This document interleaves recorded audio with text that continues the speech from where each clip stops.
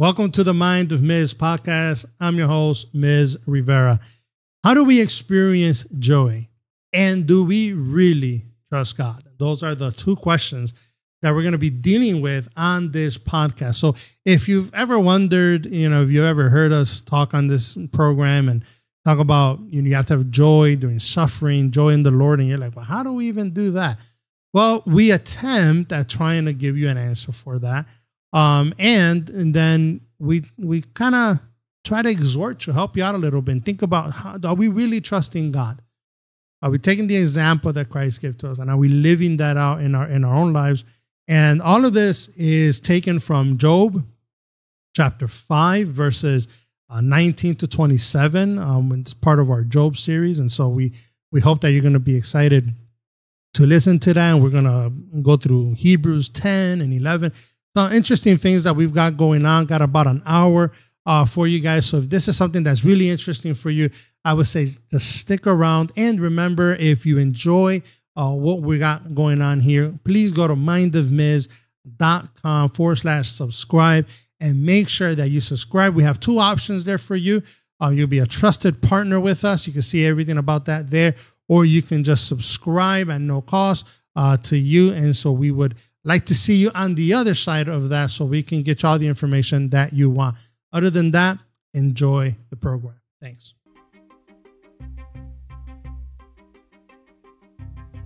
Welcome to the Mind of Miz podcast. I'm your host, Miz Rivera. Hope everyone is doing well out there. Today, we are going to be looking at the end of chapter five in the book of Job, and we've got uh, some exciting things going on there. We'll get that. Uh, we'll get to that in a second. Um, if you're watching us live and you haven't subscribed yet, please go to mindofmiz.com um, forward slash subscribe, and um, you can go ahead and please do that. Uh, that's really going to help us out with a lot of the things that we have going on. Plus, we can uh, email you all the information that you need. Uh, all right, let's leave that there. Today, we're going to look at chapter five. I have a lot of notes uh, in front of me today. And um, part of the problem that I'm having with this particular study is that I want to I, want to do everything right. Um, I, I want to talk about everything that I that I've learned and and as I've been praying about this and meditating on this and looking at this um, and, and, and dealing with with life, right? We still have to deal with that. We still have to we have to work. We have to uh, deal with the ups and downs of, of the day, and um, so there's, there's a lot that I've been trying to wrap my head around. And uh, what I've decided to do is try to give you all a a, a proper view, kind of an aerial view, uh, if, if we were to say this, um, about uh, from the end of the book of Job here, uh, excuse me, the end of the chapter five here in the book of Job, uh, which it's technically verses 19 through 27 that we're going to read here in just a second. Uh, we're going to give you an overview of that. Okay, so we'll just go verse by verse um, and go through that. And then we want to answer two questions. And this is where the bulk of, of everything is going to be in. And the questions are how do we experience joy? That's the first question. And then the second question is do we do we really trust God? Do we really trust him? Okay, as Christians. Now, if you're not a believer and you're watching this out of curiosity, the Lord has brought you here by um, his providence, there there's some great things for you here as well. Um, but there is also a lot here for for the believer, the Christian that's here who wants to um, learn something in this study. And, and those are two questions that jump out from us at the text. And they're not only questions that jump out at us, they're also questions that have been asked of me. You know, people have asked me, how is it do we, ex- how do we experience joy? Because often, you know, we, we go to the Bible and we talk about suffering and the book of Job. That's all we've been talking about. And, you know, then we're told, you know, be patient and, and have joy. And, and in chapter five, we, you know, we hear things like, blessed is the man. Um, you know, we see that in, in verse 17, behold how happy is the man who God was like happy, joy. What are we talking about? How do you get that? How do you how do you experience it? And so I really thought about that a lot and, and I, I think I have some some some idea um, that I can share here with you that might help you with that. And then, of course, the other question is more of a um, ex- a question of exhortation. And who am I, right, to to to exhort anyone? But the Word of God does that for us. And so I, I, I want to lay out before you what's on my heart with that question. Um, with in both of these questions, you know, the do we believe in God is it, it, they rise from the text that we're reading. Okay, and as as I read this to you now, I will try to point out to you where these questions are being raised up. Okay. Um, the joy one I kind of already showed you there in verse 17. We're still dealing with that. Why are we dealing with it? Well, because on a technicality, verses 17 to 27 kind of all go together. All right. And we we split it into verses 17, 18, and 19 because there was so much there that we wanted to cover. And so we we split it, but we're not gonna keep splitting these texts because you know we'll never finish here. Um, so go to your Bible with me, um, Job chapter 5, verse 19. We did read verse 19 last week, but it's important to just uh, begin there and then we'll end at verse 27. From six troubles he will deliver you. Even in seven, evil will not touch you. In famine, he will redeem you from death. And in war, from the power of the sword. You will be hidden from the scourge of the tongue, and you will not be afraid of violence when it comes. You will laugh at violence and famine and you will not be afraid of wild beasts, for you will be in league with the stones of the field, and the beasts of the field will be at peace with you. You will know that your tent is secure, for you will visit your abode and fear no loss. You will know also that your descendants will be many, and your offspring as the grass of the earth. You will come to the grave in full vigor, like the stacking of grain in its season. Behold this, we have investigated it, and so it is. Hear it and know for yourself. We thank the Lord for the reading of this word. Father, we just pray that your word goes forth and that Christ is glorified in this. We pray in Jesus' name. Amen. All right, so let's take a, a quick glance here at these verses um, and, and just kind of give an, an overview of, of what you're looking at. Look at, again, verse 19 from six troubles he will deliver you, even in seven, evil will not touch you. Now, the idea here, um, and there's several ways that people look at this, but the idea, the main idea here at least, is that these six troubles are, are really a picture of what life looks like. Meaning, today you had some issues at work. Guess what's going to happen tomorrow at work? You're probably going to have more issues. Um, you have some issues in the family. Guess what's probably going to happen? If not tomorrow, next week, next month, you're going to have some issues with the family. Um, your car breaks down.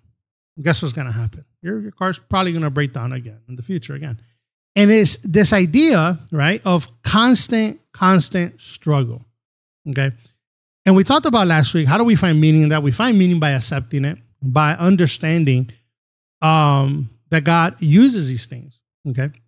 Um, and so one of the things that we can add to that is seeing, and we'll, we'll talk about this in our question, I think, about how do we experience joy, is the demonstration of God's love in pain and suffering and all the things that happen around us. Okay. Um, well, you might say, how is that God demonstrating his his love? Well, he's withholding his mercy, his wrath, excuse me. So he's showing mercy and he's showing, you know, his grace, his graciousness. And instead of, you know, lavishing us with wrath, you can say it that way, he withholds his wrath and shows his love by letting just suffer just a little. I told you guys last week how God is so strong and so powerful, so almighty that all he has to do is, you know, lay a finger on us and we're undone. In fact, God is so powerful, he can just say the word and it happens.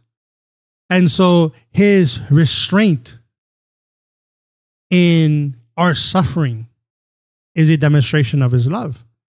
Now, it's it's easy to say that, right? oh, that sounds nice. That sounds, you know, philosophical and, to some people maybe. And but then you you know you go live in real life and and the pain in the flesh and the body and your and your emotions and your mind is real. It's as real as it gets.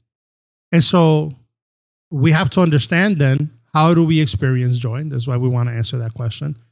Because we're being told clearly in verse 19 here, you're going to have troubles. Not one of them, six. You know, maybe on Sundays, you know, trouble will take a day off. Maybe you have one day a week to, you know, be able to to relax or something like that. But other than that, suffering will be a perpetual part of your life. Okay. Um, and we'll look at that here in a minute. So that, that's verse 19 in a nutshell. Okay. Then we got verse 20 in famine. He will redeem you from death. And, and let's keep reading here. And in war from the power of the sword. But you have two things here that are interesting. You have famine and you have war. Now, I, I don't have the time to go into what this meant to the ancient man because, again, I'm trying to answer these two questions. Maybe we'll do an extended Bible studies. Those go out to our uh, trusted partners. And so that might be something that we might um, go out there and, set out for you guys because there there is a lot to learn um, in in in those details. To be honest, um, you know, famine, for example, if you just do a quick Google search, right? Do a quick Google search of famines in the 1800s. Okay, just that's what 100 odd, you know, 200 years ago, or whatever that is. So not that long ago, when when the world was still, you know, it was it was it was modern compared to, you know, 2,000 years ago, and the way that the famines just ravish and ravish people, and then and then look at famines up all the way till today, and you'll have an understanding. Um, but famines in in back in the day, in ancient days, I'll just give you this brief kind of history, was a lot more local, okay, and a lot more severe. Um, you know, they didn't have refrigerators.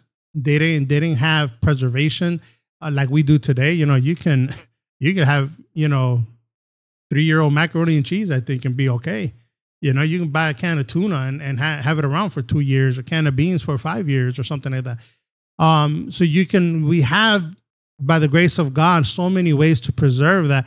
You know, we hear famine and we're just, we think that's something from from the old days. And and to some extent it is, but it was real. Okay. And so what we find here, war in the end of verse 20, verse 21, you will be hidden from the scourge of the tongue this is the accusers, the revilers, right? Uh, people that that that that that bring false witness against you in order to to bring you down. You know, we're not talking here about gossip. We're talking about life and death here. These are all issues that are of life and death. You know, think about famine that'll kill you. A war will kill you. The sword will kill you. And, and then the scourge of the tongue is there. And James talks about the tongue being like a fire. And so it's a warning as well in this verse of, of keeping your tongue. And so we have so much there, and you will not be afraid of violence when it comes. And so there's um there's a weird shift here. If if you find if you look at this with me, um, in verse 20, you have God redeeming you from death and in war, right? He's redeeming you from war, from from famine, and, and, and keeping you from all that. But then in verse 21, it kind of things start to change a little bit. Eliphaz's tone starts to change a little bit. You will be hidden from the scourge of the tongue, right? Hidden. The word hidden there is different than than redeemed. And then you have, and you will not be afraid. All of a sudden, now you're fearless. And so you have this fearlessness about you, right? When the violence comes. Why? Because because you can stand if, if you're a true believer in Christ and you have been redeemed by the blood of Christ, you can be like those martyrs who knew that they were about to be beheaded or burned at the stake, and they would stand there. And There's stories of this. If you have ever ever read the Book of Martyrs, uh, Foxe's Book of Martyrs, you should, pick it up and, and read that.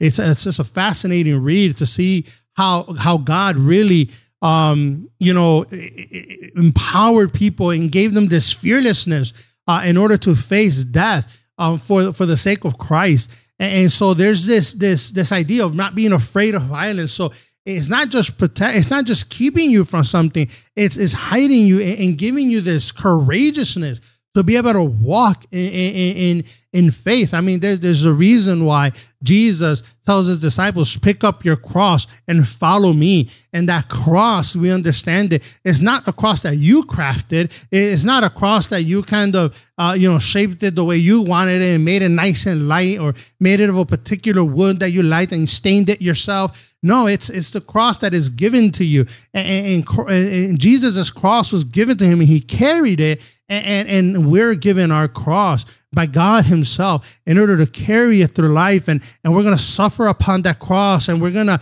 die upon that cross. And, and, and the idea here it's so dark in some ways, but a lot of Job is, right? But we have to find the light where it's given to us, and it's what we're going to try to do.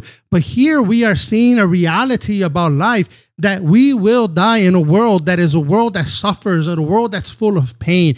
It's the same reason why a lot of people are atheists and don't want to believe in God, but it's because they haven't understood how do we experience the joy in Christ and how is it that we really trust in God because we're trying to constantly hang on to the things of the world. And so what we see here is that the only person that cannot be afraid of the violence, that is hidden from the scourge of the tongue, that is protected and nestled in the Lord is the righteous man. It's the man who believes. We can go through a score of verses where we can show you where the, the wicked does not have this in his life. There's a verse, I can't remember exactly where it is now. If I come across it, I'll, I'll share it with you. but where it talks about eh, eh, that, and I think it's in Proverbs where, you know, the man is, or it might not be in Proverbs, but uh, if I find that, I'll, I'll give it to you. But where men run away at the rustling of the leaves, uh, you know, it, they're they're jumping all the time. If if you go on the internet or if you see if you talk to anybody that watches the news too much, you know they're afraid of what's going on. Eh, people are scared of world wars and all of these things that that are being talked about, and they have no hope. They don't want no nothing too bad to happen. Not not not because you know maybe they love this world so much, but it's the only thing that they got to hang on to. But the believer has more than that to hang on to. We have the hope in Christ. And so this is the one of the major differences. I can't say it's the only difference, but it's one of the major differences between us as the believer and the unbeliever. But often, do we experience joy in the suffering? And do we trust God? Truthfully. You know, we talked last week that God is the one that brings the rain, right? But do we often trust God to allow it to rain? I feel like sometimes we talk about these things, but we sit back and we just wonder, eh, will God really do it? We pray and we sit back and say, eh, I don't know if God really is going to come through. And so there, there's a, a lack of confidence, of trust, of confiding in the Lord and who He is and, and, and the majesty of who God is. So we're trying to get you to think about that. Look at verse 23 For you will be in league with the stones of the field, and the beasts of the field will be at peace with you. The word league there is talking about a, a contract. Um, it, I think this is metaphorical language because um, un- unless here there's a reference by Eliphaz to um, what, we, what we would call the, the kind of idyllic life, right? Being in heaven. Um, and if, if you can think to your childhood, maybe if you were raised a Christian, I remember seeing books um, as a kid of of you know these images that were crafted of heaven where the trees looked perfect and you know you were like cuddling with a lion and um, you know this idea, this idyllic lifestyle. There may be something like that um, that Eliphaz is is doing here. Um, but certainly what, what he is doing as well in, in the thought of the agricultural world, let's say, um, that they lived in, where they lived, um, you know, hand to mouth, I guess you can say. If if they came across a field and it was full of stones, that was a worthless field, you know, or they had to sit there and take all the stones and the rocks out in order to be able to cultivate the land. And so there's an idea of that here, but here it says, hey, you're going to have a contract with the stones. The stones just won't be there they'll just kind of dissipate. And so it's this idea. Um, and I think part of what's happening here is that Eliphaz is kind of getting excited, right? And as he's getting excited, you know, he he's saying, hey, there's not no violence, and he's gonna keep you from war and from famine. And he and now he starts, you know, kind of pushing the envelope here. And, and but he's trying to bring some comfort to Job, but he's he's pushing the envelope because then he says, "And you want to be afraid of of wild beasts? You know, the wild beasts there um, is this idea of of those you know animals that that come in and eat your domesticated animals okay um and and animals that that people didn't have the type of shelters that we have today today we have big cities and um you know sprawling towns that that kind of drive a lot of the the animals away. But you know for them it was a very real thing. It could be right outside your tent you know? It was a different kind of world that they lived in. And so so there's some of that idea in here as well. And then he says, And you will know that your tent is secure, where you will visit your abode and fear no loss. Well, you know, again, here's the, you know, life is getting carried away to some extent and not realizing that Job is looking at him like, well, you know, I, you know, I lost my, you know, my kids lost their house. I lost my family. You know, I don't have anything, right? I, I can't afford it. I, so what are you talking about here?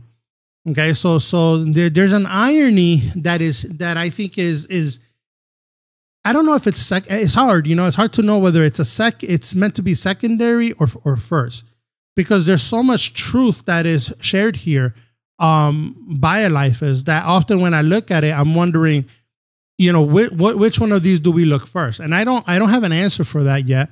Um, I want I want to say that it's a secondary point, and what I mean by that is that we we have the ability to read the entire book of Job, right? We know what's at the end, so we can kind of really dig into it. And so I think a lot of the applications that are meant for us um, are not always just the applications that are within the book of Job.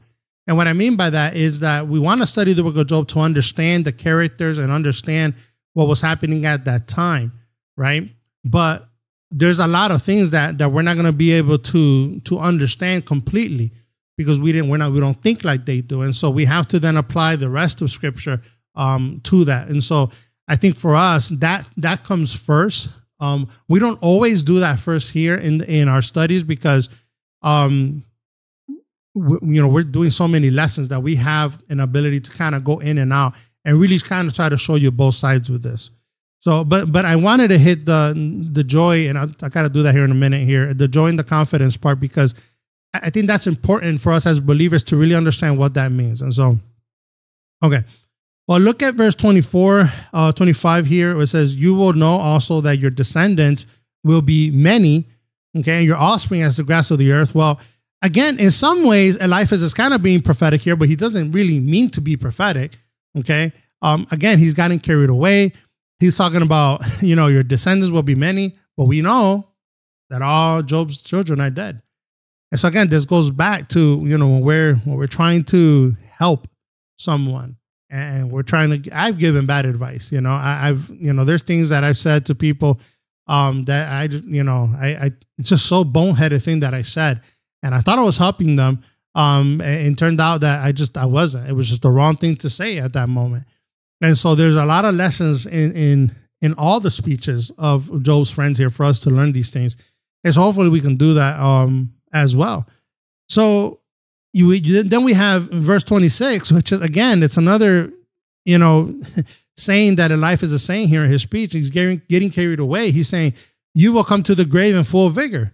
But they're looking, remember in chapter, was it chapter two, um, where we talked about they were basically looking at a dead man walking. They remember they mourned, they they ripped, they acted like he was dead because they thought he's dying, and all of a sudden here he's saying, "Well, you're gonna come to the grave in full vigor, like you're gonna live your full life." and you look at this, you're like, "Wait a minute, that doesn't that doesn't seem the case. It seemed to be the case with with Job." And so that's that's part of that irony that that's here. And then like the stacking of grain in its season this is important. This is a deeper point that again, you know, we we we can spend some time on. Um, because this this is really an idea, verse 26, of a of a life fully lived. Okay. A life fully lived. Uh, meaning that whether you die young or old, you you live the life that God had for you to live. And often we know people, and, and this is a sad situation, that die young or die tragically, let's say, um, through an accident or they die through sickness or something like that. And there's kind of like this bitterness in their death, even even if they've gone to be with the Lord. You know, we believe that there's some there's a bitterness because we know they didn't really live their life out for the Lord. And that should remind us to to live our life for God. You know, Edwards talked about in you know in his resolutions he talked about you know reaching death and when he reached death you know being able to to say i've lived a good life. And and he resolved within himself to live the kind of life that at the end of life okay you can actually say that. Well you know when we look at our life if we're dying today can we say yeah i i've have had a great run in the lord. And if not, then how do we do that? How do how do we find, you know, the ways to actually live that life? And and again, the question of how do we experience joy is part of that. And verse 27 here, behold this, we have investigated it, and so it is. Hear it and know for yourself. Um, and this is really a life of saying, hey, this is the wisdom of the day.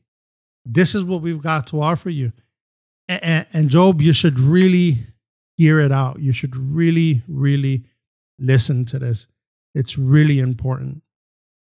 Um, well, again, there's there's two questions that emerge from all of this. Let's let's try to tackle the first one. How do we experience joy? Well, the best way that I could describe to you to, or at least begin to describe to you this is I want you to think of, of your actions, okay, your deeds, and your experiences, the things that happen to you.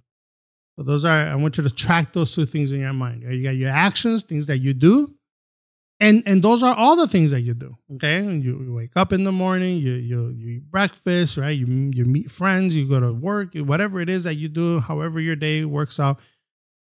All your actions, you go to church, you know, good or bad. Okay, all your actions, okay, and your experiences are like little seeds okay um that later on you're going to reap from. You know you have a, a, farmer right? If a farmer has has a seed you know he can eat the seed or he can plant the seed right? It would be smart for him to plant the seed. And so if you're a farmer and you have a bunch of seeds then what are you going to do with them? What actions are you going to take? And our actions and our experiences are a form of that. Okay, I'm, let me explain that further. Go to Isaiah chapter 3, uh, verse 10. Okay. Say to the righteous, the righteous here is the believer, that it will go well with them, for they will eat the fruit of their actions. That's interesting, isn't it? You will eat the fruit of your actions. And so we know from the word of God actions are rewarded in heaven. We get a reward. We we can our how do we experience joy? Remember, this is what we're talking about. How do you experience joy? Well, part of it is to remind yourself that every action that I have in every experience that I go through, meaning all the suffering, the pain, the things that I go through are all like seeds that I'm putting in the ground. And when I'm in heaven, I'll get my bountiful harvest. I'll get a reward. Now, it's interesting because when the Bible talks about this, it talks about having a reward in heaven. It never tells us that heaven is our reward. And so there's there's a real thought here that we have to try to walk through because when you're thinking about joy and I and I'm attaching it to actions, I don't want you to think to yourself, well, so are we are we working our way to salvation? No. But there's an interesting part in scripture. Just go with me to the book of Hebrews that we can go through real quick. Um I don't know about quick, but we can go through um, to to see the importance, the value that's given to to human action.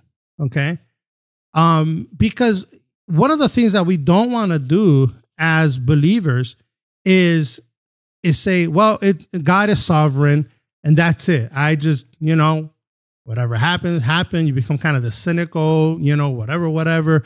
Um, you know, and everything is just negative in that sense. And so you don't really strive to live your life for God.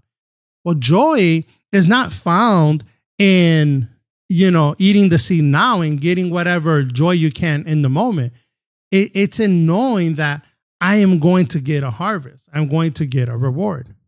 It's not that it's going to get you into heaven, it's that God Himself wants you to enjoy this life, knowing that our end result is our end hope is heaven. And that even once we're there, those actions that you did, even then, they will not be in vain. The good things that you do for God, the life that you live for God, is not a life that's in vain just because we believe that when God saves you, He saves you, He secures you in His hand. And then you live in 80 years and things go up and down, and you're wondering, man, you know, it, everything has a purpose.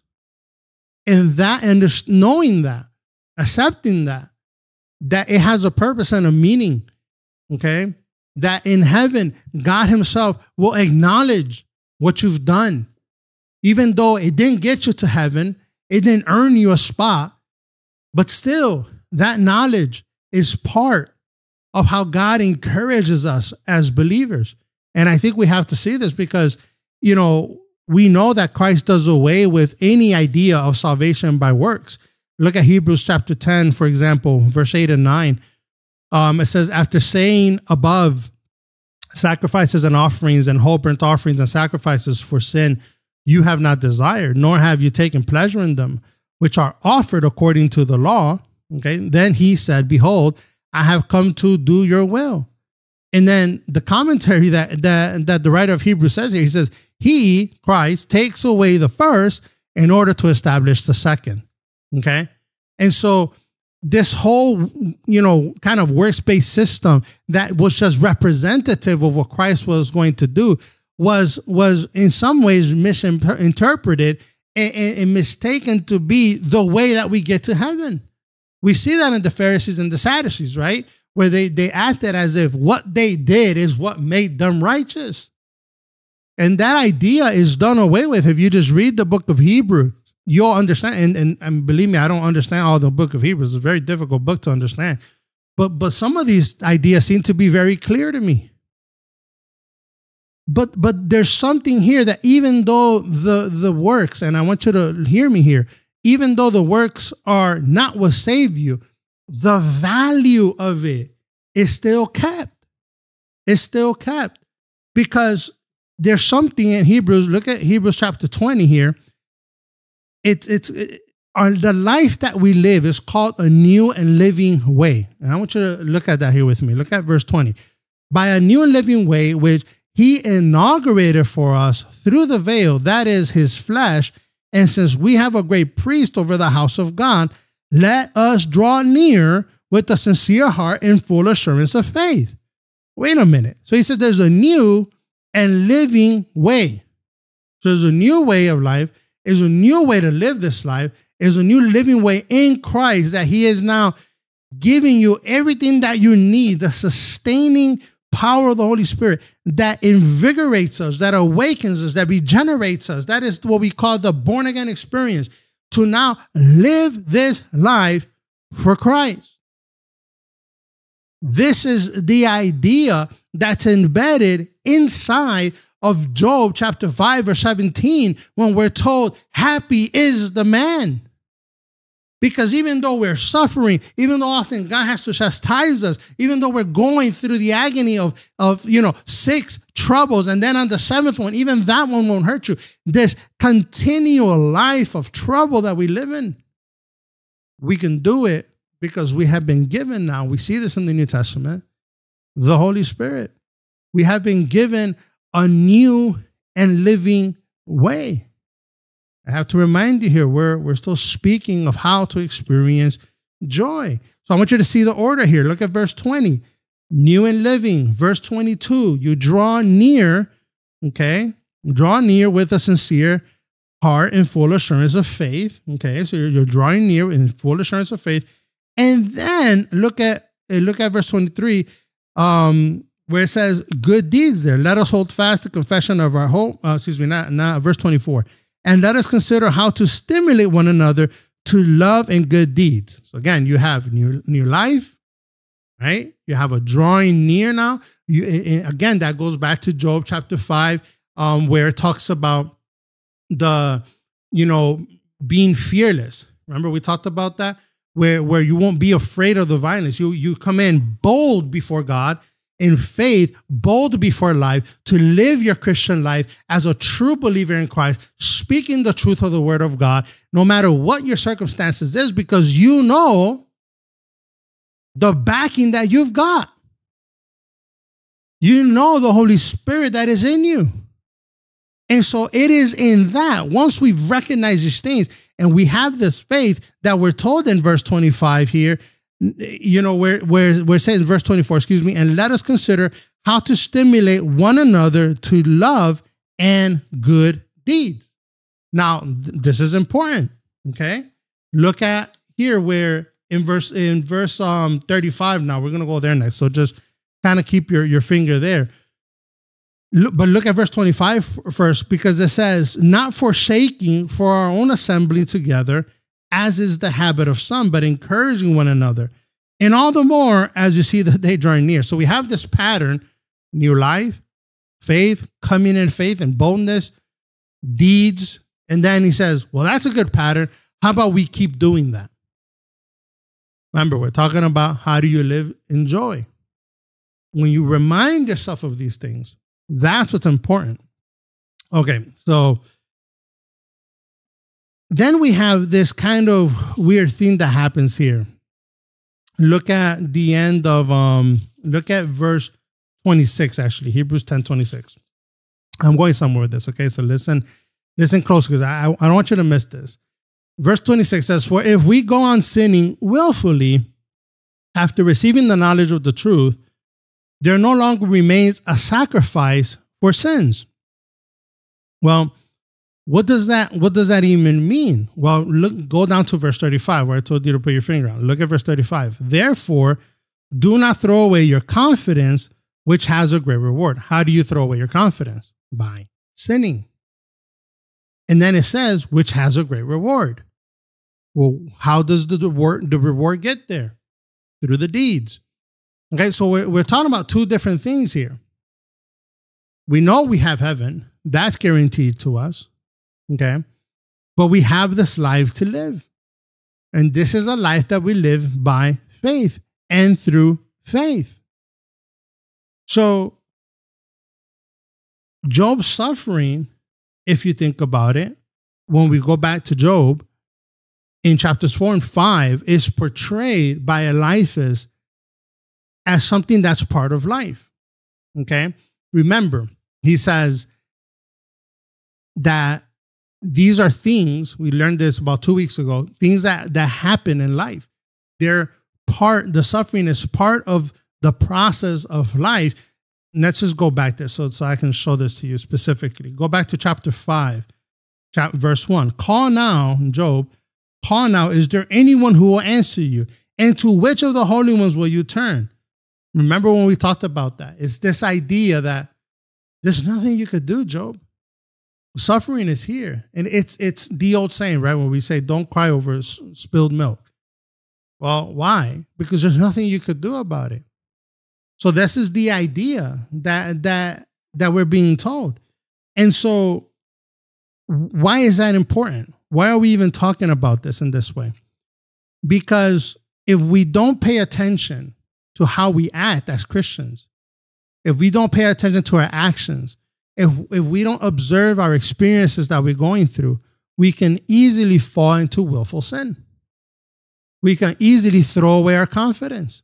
All that God has given us, the faith that we have, the, the joy that He's given to the believer, we, we because we're not willing to to live a life for God the way that we should, And, and because we're not willing to observe our experiences under, under, the, under the, the light of the word of God, that shows us that suffering is a conduit to knowing God and, and, and, to grow in, in, in sanctification and all of these things that we've talked about. When you ignore those things, you tend to willfully sin. And the, the problem is that there's so many Christians that think that their willful sin is just a part of, oh, but that's just, I'm suffering. I can't, I can't get over this thing. I can't get over that. And so they think it's part of just, you know, this fallen nature, but it's not. Because what we're learning in, in Job chapter 5, for example, when he's talking about from six troubles, I will deliver you, it's not talking about six sins there. It's telling you that you're going to have troubles in life, that bad things may happen to you and certainly will happen to you. Maybe not as much as the next guy, or maybe more than the next guy. And it's telling you, listen, you're going to go through all of that, but keep trusting in me. Keep believing in me. Keep obeying me. That's what the Lord is saying here. That's what we need to get out of it. And so the reason that I, that I find Hebrews so interesting is because often when we forget that, we think that when the Bible says you know, the righteous will fall seven times. We think that it's talking about falling in sin seven times. No, it's just telling you, listen, life will beat you up. You're going to fall by a beating, not because of the sin. And so that doesn't mean that we're, we're never going to sin, but there's this part of willful sinning. And, and I think when we don't recognize the massive work that God has done to save us, then we fall into that. This is the same problem that Eliphaz, is, is talking to Job about, but he's misapplying it. But when he's talking to him about anger and not accepting the chastisement of the Lord, the suffering in his life, say, look, you're going down the bad way here. You're going down the foolish route here, down, down the road of the unrighteous if you don't accept this. Well, we know that, that that wasn't the case with Job, but certainly we can apply that to our own lives. And, and that's what I was talking about earlier. It's the first thing that we want to pay attention to often, particularly when when when some of these uh, friends are speaking here, because there is some wisdom there. We don't just want to dismiss it as them being mean or something like that. So when we get to verse 38 in, in Hebrews here at the end of chapter 10, it says, But my righteous one shall live by faith. And if he shrinks back, my soul has no pleasure in him. And some people here think, well, you see, you can't shrink back. You, your, your, it's your actions that get you to heaven. But that's not what that's saying. Look at verse 39. But we're not of those who shrink back to destruction, but of those who have faith to the preserving, preserving of the soul. What is it saying? Shrinks back to destruction. What is it saying? It's saying you will face calamity, you will face trouble in your life, but you're not going to be destroyed by it. See, this is this is why suicide rates go up often when when people get so depressed, having everything in the world, having all the niceties that we have, they still get so depressed, so focused on on what they don't have, or or focus on, on what they wish they had, or they have no God in their life. They're so desperate that they take their own lives. You know, that there was a study on, done on social media on young girls. I don't have the study here in front of me, but where it talked about there was an increase of women, uh, of young girls cutting themselves and, and committing suicide because, you know, they were being shamed on, on, on Facebook, on Instagram. And, and, and, and that, that's ridiculous, right? When you think about it, but it, it's real. The, the human heart the human mind, the human body gets destroyed by the very experience of the world. This is why when we look at Genesis, there, there, there's something that happens when man sins. It says that he dies. And then we have chapters where, you know, verses and verses that go on, talks about, and he died, and he died, and he died. It's this idea that death is around us, destruction is around us. But here we're promised that we're not the ones that will shrink back to destruction. No, we're going to have faith to the preserving of the soul. But I told you earlier that the works, even though they don't save us, the value is kept in them. the value of them is kept. So look at this with me. I think this is so interesting. Look at the works that's listed in chapter 11, okay? The triumphs of faith, uh, the hall of faith, as it is called. Look at everything that is listed here, okay? That, that people did. These are all the works. Abel, for example, offered to God a better sacrifice than Cain. That's in chapter 11, verse 4. In verse 7, Noah prepared an ark. In verse 8, Abraham set out on a journey without knowing where he was going. In verse 9, Sarah had a baby. In verse 17, Abraham took his son Isaac up to be sacrificed. In verse 20, Isaac blessed Jacob and Esau. In verse 21, Jacob blessed the sons of Joseph. In verse 22, Joseph foresaw the Exodus, gave order that his bones, right, when he was dead, were to be taken back to the promised land. In verse 23, Moses' parents hide him. That's an action that they took. These are all works, right? Moses, as an adult, refuses to be called the son of Pharaoh's daughter and chose to be with his people. Verse 24 and 26. Verse 27 28. Moses leaves Egypt, right? He keeps the Passover. Verse 29. All of Israel crosses the Red Sea. All these people just walking through. They're taking action. They're doing what, what they're being told to do. In verse 30, the walls of Jericho fell. Why? Because they took action. They were walking around it. Rahab welcomed spies right? It's another action in verse 31. Then it talks about Gideon, Barak, Samson, Jephthah, David, Samuel, the prophets, uh, down in verse 32. It, says essentially, look, we don't have we don't have space to to talk about all the things that they did. But what it does is it attributes it not to human willpower, but faith. Why? Well, Hebrews 11 6 tells us it is impossible to serve the Lord. It's impossible to please the Lord without faith. But you see that the work is not diminished. So, how do you find joy? How do you find joy? Well, you find joy in knowing that everything that you do, the satisfaction is that all your actions are done in Christ and for Christ. That's the satisfaction we get as Christians. That's the joy that we have. Now, sometimes it's mundane, right? Man, who's had boring days? I've had boring days. Usually, boring means that you're probably not doing what you should be doing, but we've all had them. Mundane, just the, how about the everyday thing? Just go to work, get back in the car, go to work, church, back in the car, go to work, same thing. Sometimes it's mundane, but we don't think about the strength God gives me, the breath He gives me, the energy he gives me, the resources that I get from working. Now I have a home. I can feed my kids. You know, I could buy my wife something nice. You know, I, I can I can go on a vacation. I can do all of these things. So it's not just mundane. Now when you really think about it, well, we have joy. When we have satisfaction in experiencing things, when we suffer, we say, Well, God, I'm suffering. I'm going through it. But I understand that you have something to teach me through this. You see, it's, it's, it, it, it's this idea that we're given again back in, in, in Job. Okay. He puts it even in a worse way.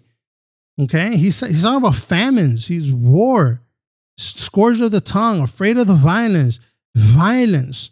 Okay. Wild beasts. You know, these are all things that were all meant to, to, to, to basically kill you. God saves you from all that on a daily basis. Also, that you can experience the joy of what it is to live under the providence of a God who cares about the world he made. Even after we've sinned and deserve nothing but the wrath of God.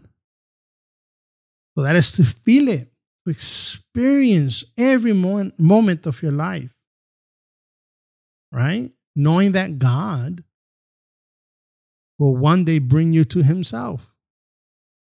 That's part of it. And so I want you to understand that. I want you to think about your actions differently and your experiences differently. Because some of you, and I know some of you personally, are going through some horrific things right now. Some of you have, you know, sick family members. Some of you are sick yourself. Some of you are experiencing, you know, all kinds of difficulties in your life. Others might be rejoicing, but what I'm saying is listen, every experience, every action you take, you have to pay attention to it. You have to know that as a believer, when we do something, we're doing it as a believer, as a Christian, and that and that should mean something. It, it really should. And we should take these things seriously. Well, let me wrap up here. I hope this is making sense. You know, this might be one of those lessons that it makes more sense to me, and, and, and maybe God's just speaking to me. But but I hope this is making sense. Here's the question that that that strikes me as well, because maybe some of you don't struggle so much with, you know, maybe it, it it's true sometimes that your life might not be so harsh you know? But every time that a hiccup does happen or, or something bad does happen um you know the question in your in your mind and your heart should be am i really trusting god here? Am, am i really trusting the lord? Am i putting my full confidence in god do we really trust in God? That's that's the question I want to touch on here for the last few minutes. Well, first there's endless suffering. We saw that in verse 19, right? One bit of suffering after another. One bad thing after another. That's our existence. It, it's it's let me compare it in this way to because I really want you to get the gravity of this. Okay. Are you getting younger every day? No. You're getting older every day. Right? That's a bad thing. Why is that a bad thing? I'm, I'm talking strictly flesh here, body, okay, material things, not considering everything else we talked about. Why is that a bad thing? Well, because every day you're closer to death. You're dying every day. Okay? So even if everything else is going hunky dory. Everything's going great. You're dying every day, slowly. Oh, I don't feel like it. But man, it could get pretty morbid, right? If you really start thinking about it. Well, verse 19 in Job chapter 5 says that's the reality. There will always be suffering. Now, it's endless, but it's not eternal. And that's important. And it demonstrates God's love.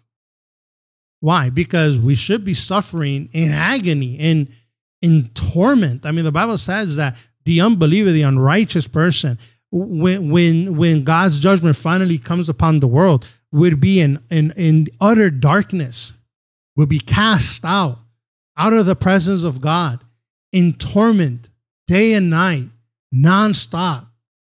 You know, it, it, it's this body that that that feels every sharp and dull and, and, and excruciating pain that you can possibly experience, but but doesn't die. In, the sense that it's just it stays alive just enough for you to keep experiencing experiencing this pain time and time again. That's what we have. But God has said, no, you know, for the believer, the extent of your suffering will be your life on earth. This is it. Think about that. The extent of your suffering is this life. This is why you can't have your best life now. This is, this is why we look forward to the hope. The unbeliever doesn't have that. The unrighteous person doesn't have that. They're holding on to this life because that's all they see. and there's some unbelievers that that you know know enough that they know they're on the way to hell and they really don't want to let go of this life. Well, we also suffer to see God's wonderful wisdom at work. This is this is the height of Job, right? Go to Job 42. This is something that we we're not, we're not going to get there next week, but we'll, we'll get there eventually. Look at Job 42 and verse 3 and 4. It says, Who is that that hides counsel without knowledge? Therefore, I have declared that which I did not understand, things too wonderful for me. You see, where Job is heading, let me give you a sneak peek. Where Job is heading is, is that he only had heard of how good God was, of how wonderful God was. But then when God is speaking to him and reveals to him who he is, he says, Oh, oh, uh, when I was talking in chapter three and chapter six, and when I was saying all these things that I was saying, oh, I didn't know it was this wonderful. I didn't know I had it this good. I didn't know you were that majestic. And that's Job, who's blameless before God. So, what I'm trying to get you to understand today is say, you know, I want to know more about God. And I can know God through good things that happen, bad things, through pain and through suffering and, and through joyous moments. I can utilize this entire life the word of God, my experience in church and at work, and I can find God working providentially through all of these things. And boy, when you get to that point in your life, oh, God is wonderful. There's nothing that you cannot give him glory for. This is why our suffering is not pointless because God providence is demonstrated in it. We see him in it. We learn more of him. We grow in sanctification. In this sense, suffering is only terrible for the flesh. But we live by faith. That is the idea that we're getting here. Now you might think, Miz, this is this is just you being you know, with your hyper spirituality. No.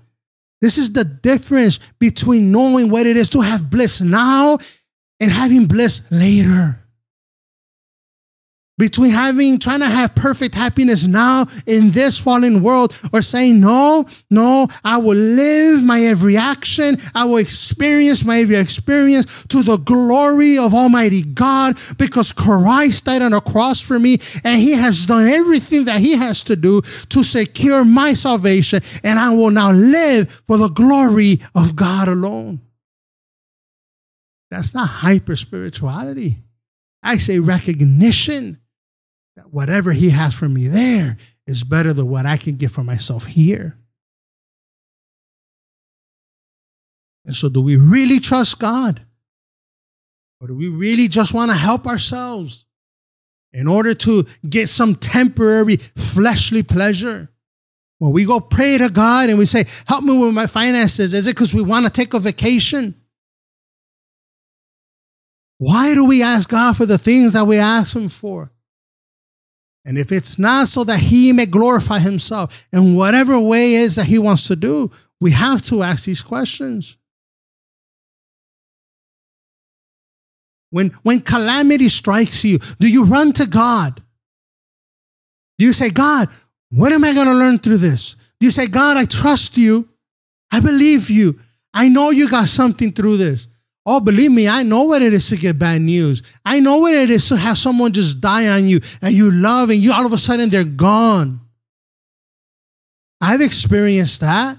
Oh, I've experienced tragedy in my life, abuse in my life. I know what it is. I know what pain is. But do I run to God? Or do I find my sustenance in the world? Do I seek out pleasure in the world? And that is a sin. And the priority should be running to God. When calamity comes, all it should mean to us is time to be humbled before God. It's time to practice humility before God.